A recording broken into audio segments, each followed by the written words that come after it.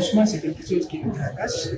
Parce que Guinée Matin, un site, c'est un site que j'ai beaucoup consulté, c'est un site qui, qui m'informe souvent, c'est un site via lequel je passe pour connaître l'actualité nationale et internationale. Si aujourd'hui que vraiment ce site va c'est quelque chose qui va réellement nous inquiéter.